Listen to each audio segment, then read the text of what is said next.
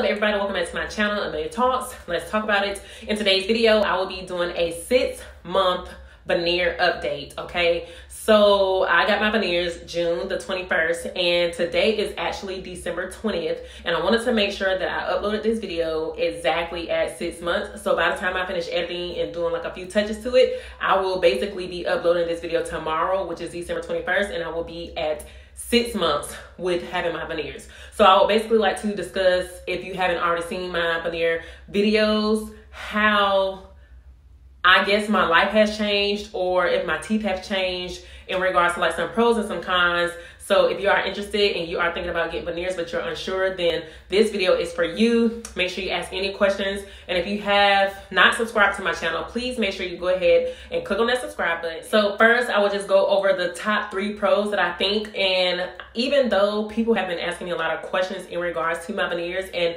you know, like for example, if I have a photo shoot and someone was just like, oh, your smile is really pretty. The first thing I'm to say is that I have veneers.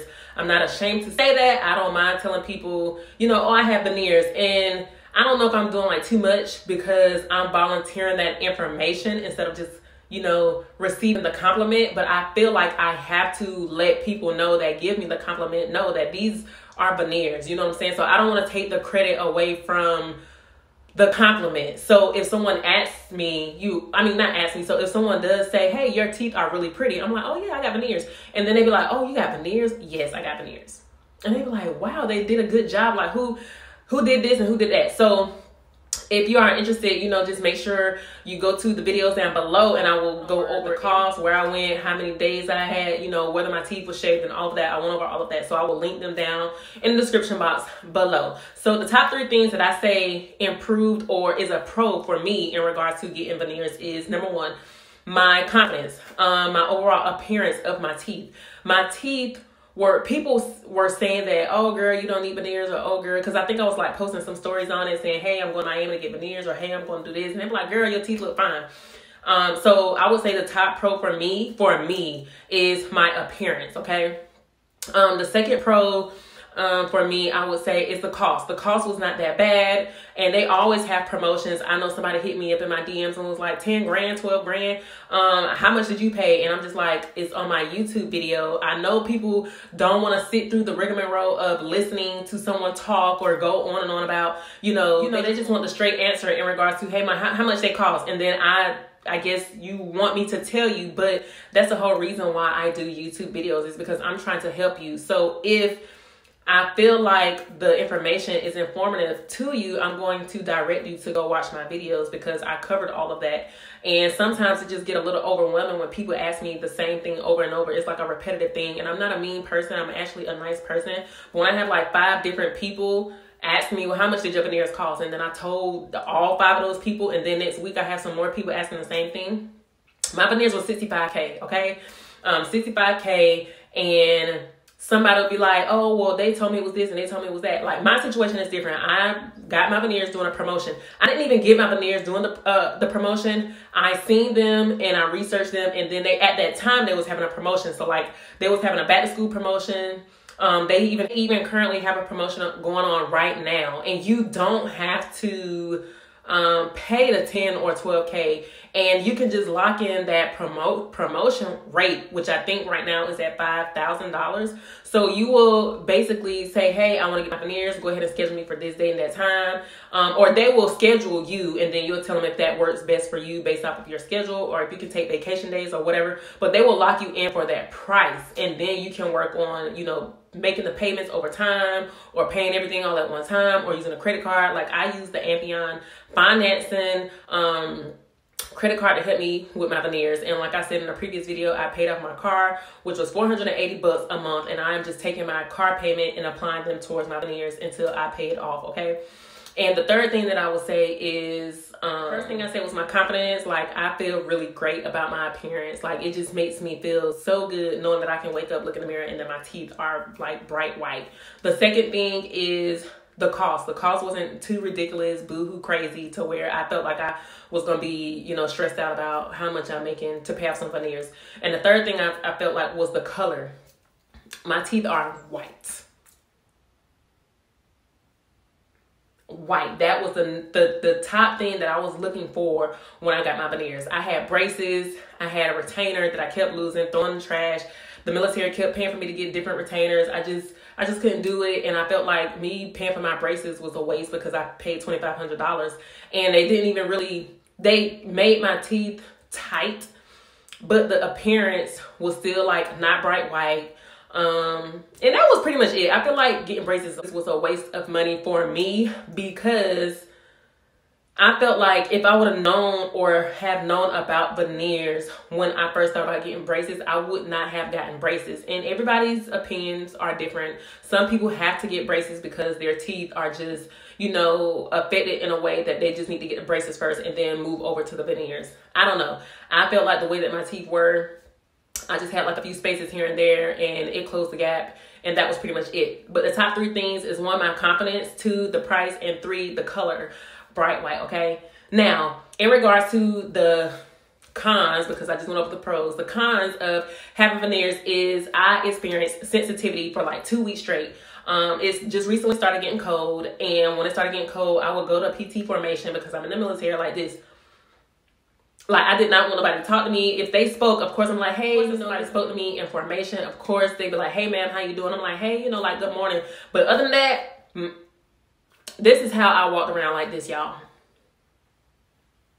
Because my teeth were sensitive, they was cold, like, and they stay sensitive to like cold things because I love chewing on ice. So I would chew on ice, but in the back because it was the front. It was this tooth right here and this one at the bottom. Those two teeth were the ones that was sensitive. The rest of my teeth did not hurt. And I felt like it had something to do with my veneers because before that I never had sensitivity. And the way that I was able to fix that is because I did some research and I was told to use Sensodyne toothpaste. And when I brush my teeth, do not rinse. Don't use like Listerine, no nothing. Just, you know, brush your teeth and go about your business. And I did that for a few days and the sensitivity just went away on its own. And so you might have to deal with sensitivity. I did. It might not affect you like how it affected me, but I was in some pain. Another con for me, um, which I said was the pain. Um, as far as like the sensitivity, I only had to deal with that for like a week, two weeks. Another con for me is dental floss. So when I initially got my veneers, you know, I never really carried dental floss around on me like that, but now I carry like the floss sticks, you know, dental floss, all of that because I have food, like if I eat a salad or whatever, that just sits in between my teeth because my teeth are so tight. Like, so being that my teeth are so tight, the food is sitting right here because it don't have nowhere to go. It'll be different if like you didn't have braces or you had gaps and then you ate something and the food went in between your gaps or in between your spaces and you wouldn't really notice it. But every time I eat something, I will have food that don't doesn't necessarily sit on top. It just depends on what I'm eating. So the food will get stuck in between here, like in between like the little crevices, and then you know, I would be at work and I have dental floss, and I'm just like, maybe one or two people say like, "Hey, ma'am, like you got something stuck right here." Or, hey, maybe. So now I take dental floss everywhere I go, and I wouldn't want to say that that is a con, but for me initially, um, now that I'm thinking about it, it was a con because I never used to carry dental floss around, but now I carry dental floss at all times, and I floss every single time um, that I eat, no matter what I'm eating, because it's embarrassing to walk around with food in your mouth. And another con, the last con that I would say is not getting my caps done first before I got my veneers, which I don't even think it matters. I don't think my teeth are going to shift. But being that I came up through the military, going to the dentist, they always want to tell you, oh, you need to crown this, or oh, you have a filling here, here, here, here, boom. So I'm going to show y'all the back of my teeth, and I'm going to show y'all what I'm talking about. So I have a crown over here And when I talk, and, um, depending on like if I'm laughing or if I open my mouth too wide while I'm talking, like you will see those crowns. And I'm just like, okay, so how come the dentist didn't want to give me white crowns? Because I know that is an option. They wanted to give me gold crowns. I don't know. And then I have some cavities over here, which I'm gonna try to go see if I can get those um covered with like the white instead of having like the gold or the silver um, and the reason why I say that as a con is because I probably should have gotten that done first because when you go get veneers, they do the top 10 and the bottom 10 across. And so being that I have the 10, then you can see those cavities or the crowns on this side. So it's a con for me because not completely perfect, even with the veneers.